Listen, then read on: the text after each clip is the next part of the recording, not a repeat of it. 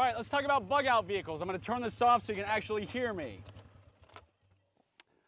I love bug out vehicles. I think you should have a bug out vehicle. My name is Jason Hanson. I'm a former CIA officer and I run tacticalspyschool.com. So when it comes to bug out vehicles, obviously this is a four-wheeler ATV. I'm a huge fan of four-wheelers or ATVs, whatever you call them. I call them four-wheelers. I was born and raised only a few miles outside of Washington, D.C. However, where I was born and raised, there were woods in the backyard, and we had an ATV, and I could go down to the public lands and the creek and the river and everything, and I had a blast on these things. So people always ask me, hey, would this be a good bug out vehicle? And the answer, like most stuff in life, is yes and no. This can obviously get places that a regular vehicle can't. Problem is, you can't carry a lot of people. Sure, you can carry a lot of gear. I mean, I could strap all kinds of bug out bags, and of course, you can have your guns and everything here if you had a rack, and you can buy little trailers that you hook up to these things. So if you didn't have a very large family, I would say this should absolutely be, a lot, be an option. Plus, they're fun, and you can use them in general. It's kind of the same thing that I tell people for bug out location, is I have more than one bug out locations, but what it basically is, is a cabin for fun. So don't have your bug out location be some place that you never want to visit, that you're never going to go to. Pick a place where you would actually want to hang out, vacation. That way it does double duty. So yes, if you have the means. Can't go wrong with having an ATV. I have six kids, so I would need multiple of these things. And while I do own some, I don't own multiple of them yet. I'm working on it. I just got to have the boss uh, approve of it. Other options are, of course,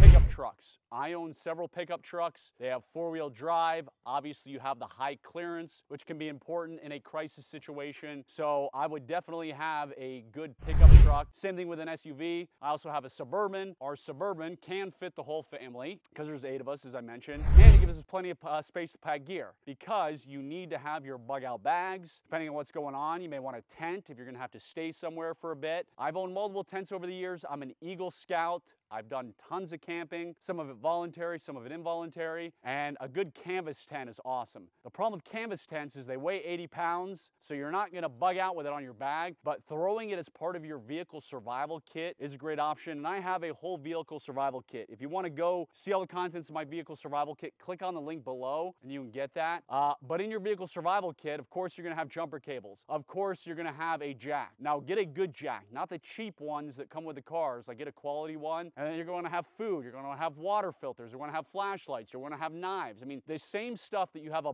in a bug out bag should be in your vehicle survival kit. However, it should be on steroids because I've got my bug out bags, which I can actually bug out and walk with, and they're about 25 to 30 pounds, give or take. My vehicle survival kit is a ginormous bag that I ain't hiking with, that I ain't going on foot with, but of course I can pull things out of there. Also, get good ply tires. Where I live, I go in the mountains all the time. I live in Cedar City, Utah, and the mountains. There are some old uh, mines where they put the mine tailings or mining tailings, whatever you call them, on the road. So you'll get flat tires. So get the thicker ply quality tires. I realize that tires these days cost a fortune. So I'm trying to think what I paid, $250, $300 a tire, uh, which is a fortune to me. But invest in good quality tires for your SUV, for your, your bug out vehicle.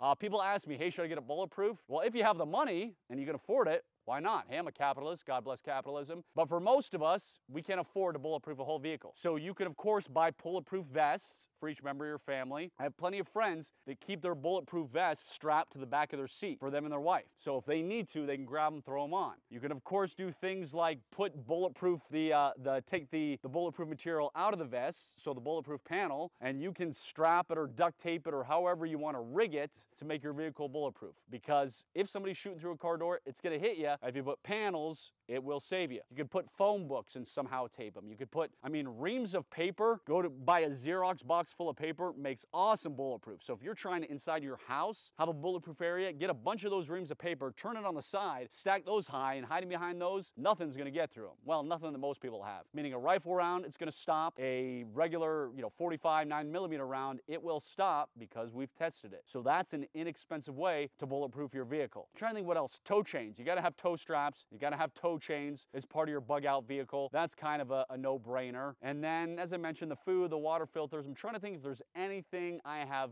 missed, but I think that's it. If you can afford a $600,000 crazy end of the world vehicle, again, awesome and call me. I want to check it out. But otherwise, get a good SUV, get a good pickup truck, have the right gear stocked in it, have quality tires, have a tow hitch so you can uh, tow a little mini trailer, whatever. Don't get anything big because in a crisis, trying to get through things with some ginormous trailer is not gonna happen. It's gonna be difficult, but you can buy one of those small ones to throw extra gear, which are easily towable. That's a good idea too. If you have any questions about anything I mentioned, if there's anything I can do for you, please leave a comment. I will try and help you out as best I can. Also, please subscribe to this channel. I would tremendously appreciate it. You'd be doing me a big, big favor. Like I said, if you wanna know the vehicle ops gear that I carry in all my trucks, and my Suburban and all that, definitely click on the link below. I'm former CIA officer Jason Hanson. Have a wonderful rest of the day. God bless you. God bless your family.